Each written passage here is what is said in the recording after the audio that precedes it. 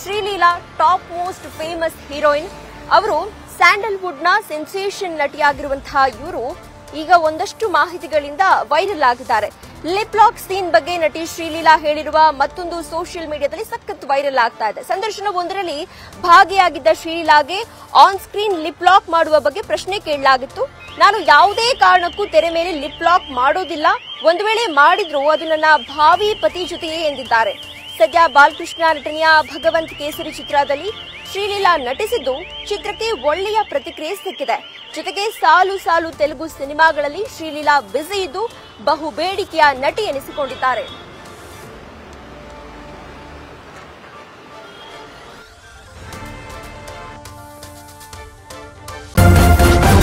News first ನಿರ್ಭೀತಿಯಿಂದ ನಿಮ್ಮ ಪರವಾಗಿ.